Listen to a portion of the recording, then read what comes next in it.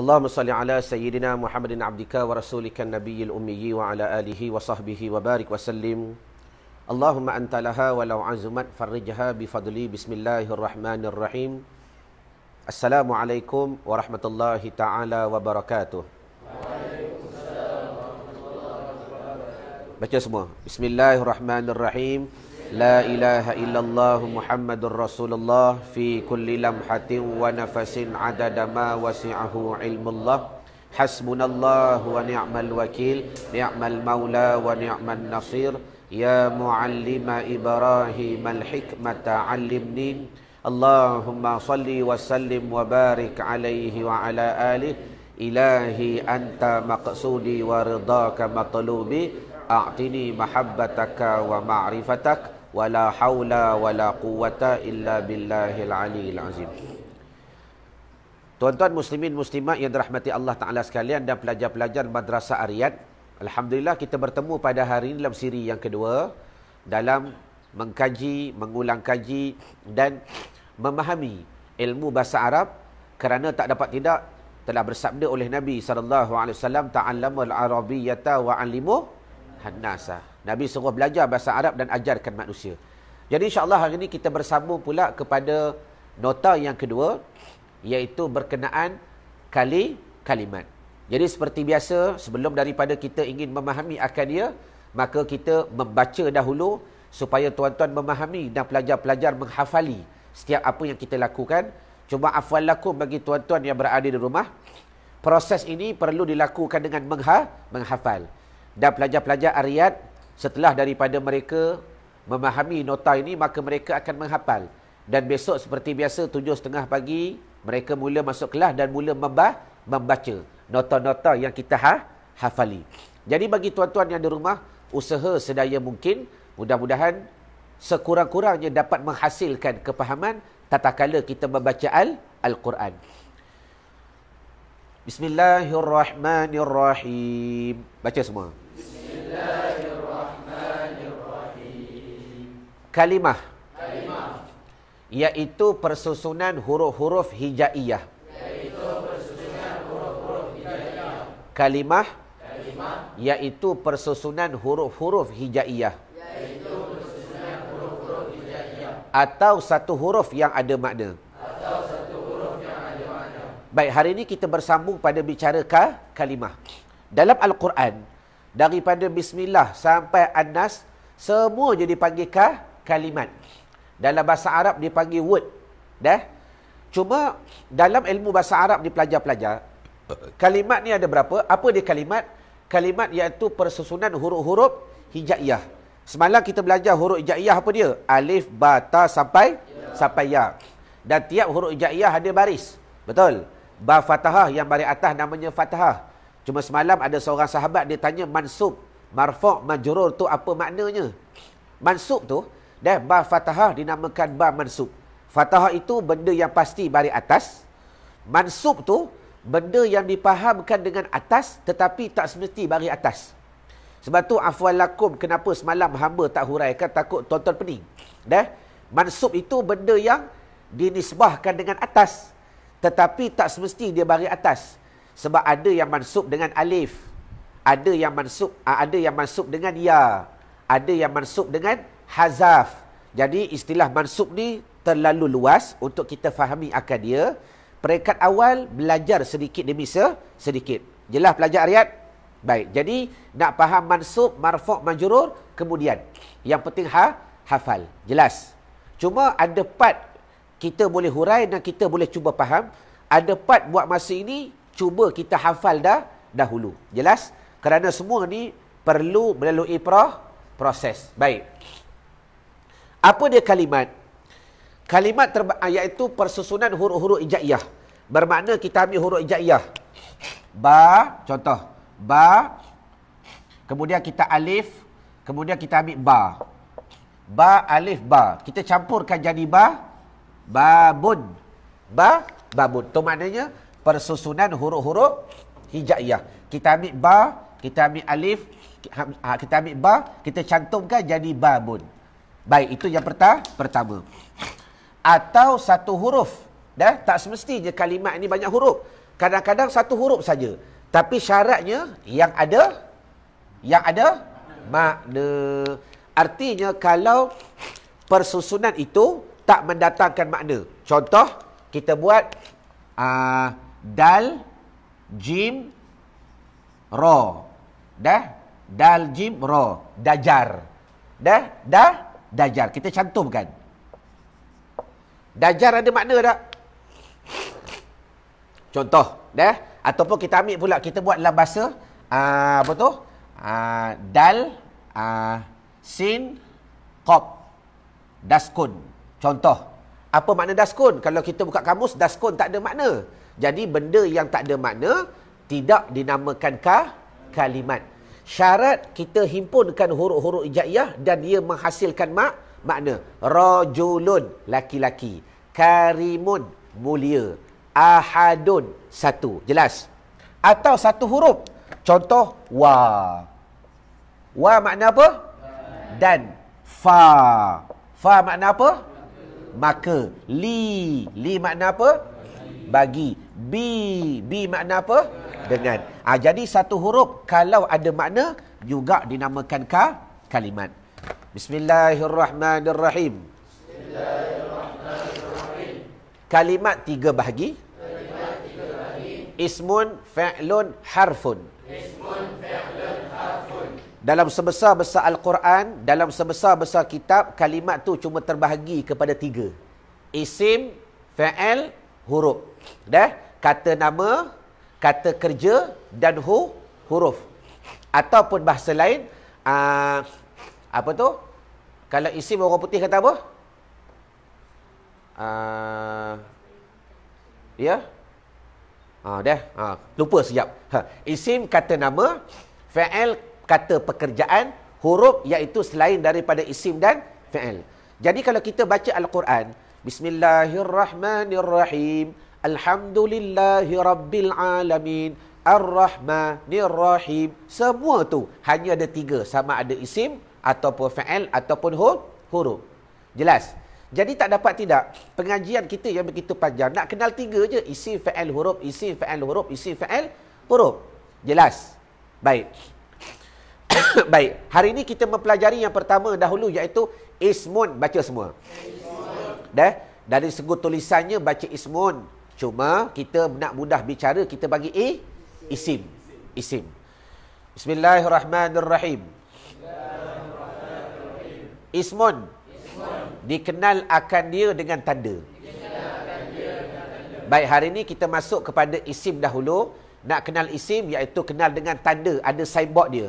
Kalau fa'lun dikenal fa'il dengan perbuat perbuatan. Kalau harfun selain daripada isim dan fa'il maka namanya hu, huruf. Baik. Dikenal akan isim dengan tanda. Baca semua. Nak pergi Kuala Lumpur ada tanda tak? Ada signboard. Kalau kita ikut je signboard sampai Kuala Lumpur tak? Sampai. Begitu juga nak kenal orang ni ada tanda, ada ciri-ciri dia. Kamu nak kenal Pak Mantelo ni, dah hidung dia mancung. Contoh, lepas tu dekat pipi belah kanan ada tai lalat. Ada tanda tak? Kita cari dekat kampung tu jumpa. Sebab ada tan tanda. Maka begitu juga isim nak kenal dengan isim ada tan tanda. Dan tanda isim itu baca. ada empat. Ada empat. Ada nak kenali isim tanda dia ada em, empat. Jelas. Baik. Yang pertama baca semua. Yang pertama ada alif lam pada pangkal. Ada alif lam pada pangkal. Misalnya, Misalnya al-kitabu. Al-kitabu. Alhamdu. Al-kitabu. Alhamdu. Yang pertama sekali tanda yang pertama kalau kita jumpa je ada alif lam maka itulah tanda i isim. Contoh alhamdulillah Dah alhamdu bermakna alhamdu tu dipanggil kalimat isim. Jelas. Rabbil a al alamina. Ada alif lam tak? Ada. Maka al alamina kalimah isim. Ar-Rahman. Ada alif lam tak? Maka namanya i isim. Ar-Rahim. Ada alif lam tak? Ada. Namanya i isim. Hari ni hari kedua belajar bahasa Arab dah boleh kenal dah isi fa'il huruf. Jelas? Baik. Yang kedua, baca semua. Ada tanwin di hujung. Tanwin ni maknanya baris dua. Dah? Di hujung ni bermakna di akhir ka kalimat. Misalnya baca. Gulamun. Zaidin. Tengok gulamun ada baris dua tak? Maka gulamun juga merupakan tanda isim. Dan ingat tuan-tuan dan ingat pelajar-pelajar Ariyat, ingat dah. Kalau perkataan tu ada alif lam, tak boleh ada tanwin. Dia kena salah satu. Contoh kalau kita buat ar-rajulu ingat kaedah ni ar-rajulu laki-laki kalau ada alif lam tidak boleh ada tanwin. Kalau tuan-tuan buang alif lam dah maka datangkan tan tanwin rajulun. Ingat kalau ada alif lam tak boleh ada tanwin. Kalau tak ada alif lam maka kita kena bubuh tan tanwin. Jelas? Maka tanwin juga merupakan tanda isim. Jelas semua? Baik, pindah kamera.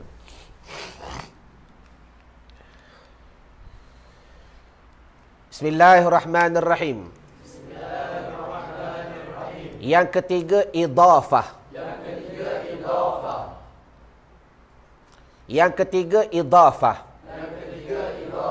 iaitu persusunan dua kalimah. Yang tadi persusunan huruf-huruf ijaiyah. Dah? Duduk? Dah. Orang belakang tak nampak? Baik. Yang ini pula, iaitu persusunan dua kalimah. Baca. Bermakna kita ambil kalimat-kalimat yang telah dibentuk. Contoh, ahadun satu kalimat sani satu kalimat bila kita cantumkan tengok pula dipanggil dah idafah ni uh, panjang ceritanya kita baca dahulu iaitu persusunan dua kalimat kalimat pertama, tidak boleh ada alif lam dan tanwin Baik syarat benda tu nak jadi idafah dalam al-Quran dalam kitab idafah ni banyak. Syarat yang pertama, perkataan yang pertama tu tak boleh ada alif lam, tak boleh ada tanwin. Baik.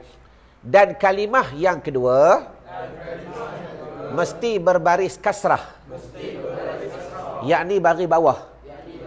Baik, artinya kalimat yang pertama tadi syarat dia nak jadi idafah ni dia tak boleh ada alif lam dan tak boleh ada tan tanwin. Dan kalimat yang kedua mesti berbaris kas kasrah. Dah? Mesti berbaris bah bawah. Bangun bangun bangun. Bangun. Bangun. Lawan nafsu tu. Rugi mengaji. Dah mengantuk tu bangsa dia dah bangun bangun ah lawan nafsu. Dah. Ustaz pernah duduk pondok ustaz tahulah. Rasa mengantuk bangun. Baik. Yang kedua mesti berbaris kas kasrah. Kalimat yang kedua ni kena baris bah bawah. Jelas? Baik dua kalimat. Kalimat pertama dinamakan mudafun, baca. Baik, ini nama saja. Kalimat yang pertama ni nama dia mudaf. Dan kalimat kedua dinamakan mudafun ilaihi. Apa makna mudaf? Ah, yang disandarkan. Apa makna mudafun ilaih? Yang disandarkan ke atasnya.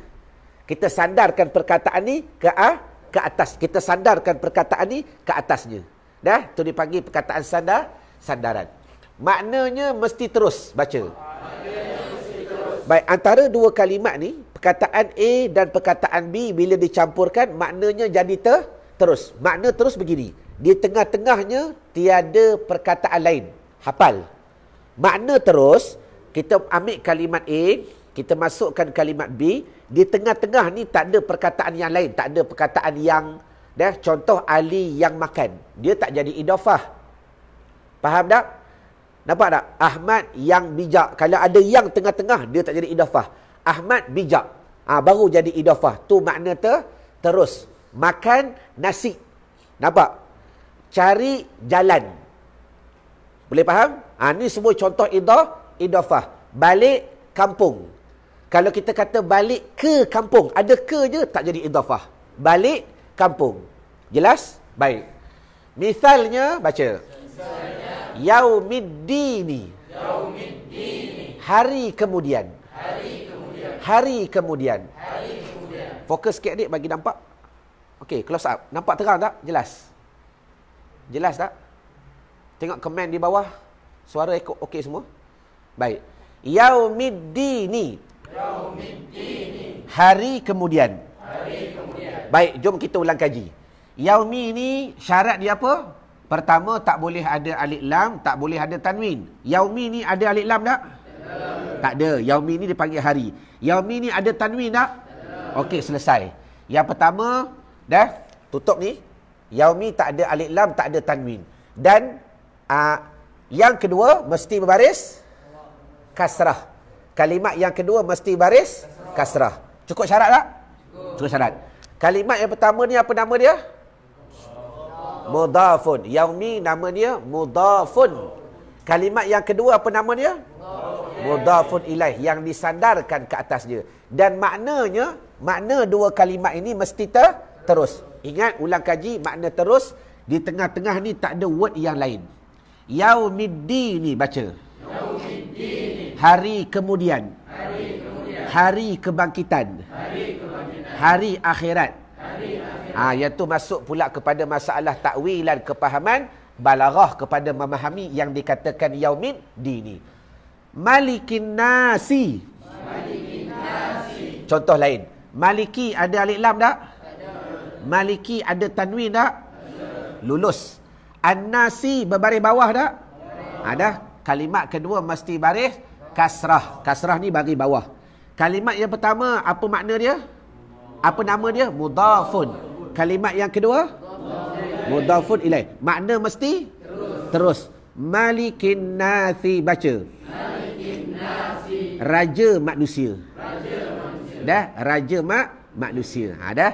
Cuma ah yang ni ada trik sikit. Kalau tuan-tuan belajar lagi, tuan-tuan akan jumpa pula idafah lafziyah. Kita boleh letak makna raja bagi manusia. Ha yang tu tak usah pening itu akan datang. Cuma asasnya malikin nasi idafah raja manusia. Dah bermakna yang mentadbir bagi mak manusia. Jelas? Akhir sekali yang keempat. Bismillahirrahmanirrahim. Bismillahirrahmanirrahim. Yang keempat. Yang keempat. Dah? Nak kenal isim cuma ada empat. Tanda. Cuma kalau kita baca kitab Matan Jurumiyah, baca kitab Syarah Muqtasar Jidan, dia tambah lagi. Dah? Bermakna kepada tuan-tuan yang pernah mengaji Nahu Sorof, tuan-tuan kena faham. Ilmu ni luas. Cuma kita cerita dahulu di sebah A, asas. Dah? Ambil yang asah dahulu, barulah kita cerah kepada yang, la yang lain. Baik. Yang keempat, baca semua. Yang keempat. Apabila masuk, apabila masuk salah, satu salah satu daripada huruf jar yang sembilan. Baik, akhir sekali tuan-tuan dah pelajar-pelajar Ariyat cara nak kenal ka, uh, isim, iaitu perkataan tu dia masuk huruf jar. Kita ulang balik. Yang pertama, perkataan tu ada alif lam. Dah? Kalau tuan-tuan tengok di sini alif lam. Satu. Yang kedua, kalau tak ada alif lam, signboard yang lain ada tanwin. Dah? Namanya isim. Yang ketiga, dua kalimat. Kalimat pertama tak boleh ada ilam dan tanwin, kalimat kedua masih baris kasrah, dipanggil idhafah. Dan tanda yang akhir sekali, satu kalimat ni dia masuk huruf jar. Dia ada satu perkataan. Perkataan ni dia campurkan dengan huruf jar. Jadi ingat, benda yang masuk huruf jar, ni dia panggil huruf jar. Selepas dia, dipanggil isim. Sebab huruf jar tak masuk kepada fa'al, dia masuk kepada i, isim. Ada? Kerja huruf jar, baca. Mengebawahkan akhir kalimah isim. Baik, hari ni hari kedua tuan-tuan belajar bahasa Arab, pelajar Ariyat yang baru masuk belajar bahasa Arab. Hari ni dah boleh baca kitab dah. Kerana apa? Bila masuk huruf jar ni ada sembilan, min ila an ala fi ruba bikali, automatik selepas huruf jar mengebawahkan akhir kalimat isim, kerja huruf jar ni dia mengebawahkan kalimat selepas dia. Dah? Ada masalah ke? Ha?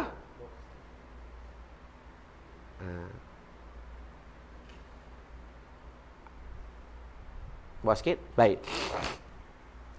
Kerja huruf jar ni, bila dia masuk je huruf jar, kalimat atau perkataan selepas dia, dia masih baris bawah. Siapa yang mengebawahkan dia?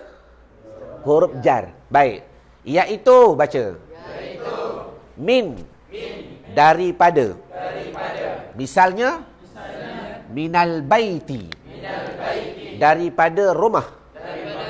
Tengok selepas min ni kita baca baris bawah. Jadi min ni huruf jar, huruf jar ada sembilan tuan-tuan. Min ila an ala fi ruba bi kali. Baca pelajar semua. Min ila an ala fi ruba bi kali. Lagi. Min ila an ala fi ruba bi kali. Lagi. Min ila an Baik. Min daripada baca. Min daripada. Misalnya. Misalnya. Minal baiti. Minal baiti. Daripada rumah.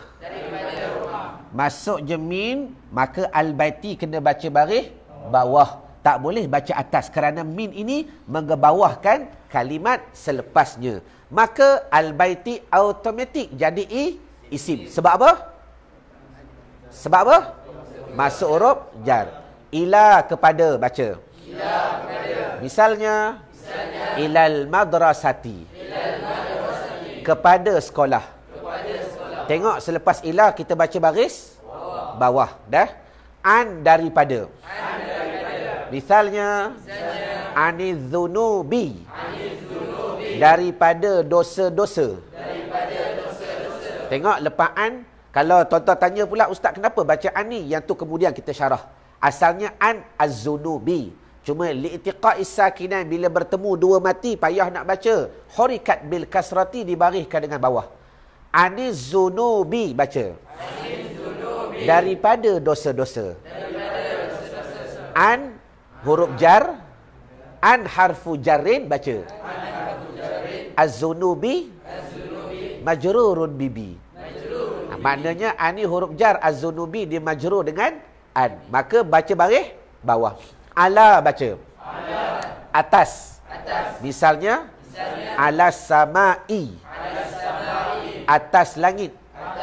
Dah kepada tuan-tuan yang rasa agak laju jangan risau. Sebab tu kelebihan mengaji online ni tuan-tuan boleh uh, ulang kaji video ni 40 kali. Dah? Kalau tengok 40 kali ta'alim juga tak tahulah. Allahumma salli ala Muhammad. Kalau kita dulu mengaji di pondok, habis tok guru baca tak boleh ulang dah. Sebab tu pengalaman hamba waktu di Fatoni kami beli recorded tape. Dah? Setiap kali tok guru mengajar kami record. Kami re record. Sebab tu sama, sama sekarang sama juga pelajar-pelajar yang ada handphone gunakan voice recorder. Waktu baca kitab gunakan voice recorder. Dah? Lepas tu balik bilik dengar. Kalau malas nak ulang kaji dia, dengar. Letak dah. Tapi masalahnya dengar 3 saat. Lepas tu buka lagu. Allahumma salli ala Muhammad hampa ni. Ha, baik. Ala atas. Misalnya, Misalnya ala samai. Ala samai. Fi pada atau dalam. Pada atau dalam. Misalnya, Misalnya. Fil bahri. Dalam laut. Dalam laut. Tengok lepas fi dia baca baris bawah. Kalau baris tak ada, tuan-tuan dah boleh baca fil bah bahri. Rubba. Rubba. Sedikit. Atau kadang-kadang. Misalnya, rubba rajulin karimin. Rubba karimin sedikit laki-laki yang mulia. Tengok lepas rubah baca baris bawah. Maka rubah dipanggil huruf jar, rajulin jadi ma majrur yang dibawahkan akan dia. Ha ni makna semalam ni yang kita belajar semalam. B baca. B. Dengan. Dengan. Misalnya bil kitabi. Dengan kitab. Ha kita baca bismillahirrahmanirrahim. Kan kita baca bismi Kenapa baca mi? Sebab ada huruf jar. Baca lama dah. Bismi. Kenapa baca mi? Sebab bi. Asalnya bi ismi. Dia buang alif. Nak mudahkan lafaz baca bis bi. Ka baca. Ka. Seperti. Seperti. Misalnya. Kal qamari. Seperti bulan. Tengok selepas ka kita baca ba bawah. Li bagi. Li bagi. Misalnya. Misalnya. Li waladin. Li waladin bagi anak. Li waladin. Ha, tuan-tuan tengok dah mana yang ada alif lam kita baca baris satu. Pelajar-pelajar tengok. Mana yang tak ada alif lam kita baca baris dua. Ha, tu kaedah dia. Kalau ada alif lam bariskan dengan satu. Kalau tak ada alif lam dibaca dengan dua. Li waladin baca. Li waladin. Bagi anak. Bagi anak. Wallahu alam mudahan video ni bermanfaat bagi tuan-tuan dan juga memastikan pelajar-pelajar bersungguh untuk mengaji maka doakan mereka agar istiqamah pada pengajian. Ma'assalamah lil liqa. Assalamualaikum warahmatullahi taala wabarakatuh. Kita bertemu pada kelas belajar Al-Fatihah bersama Ustaz Irwan. Wallahu alam.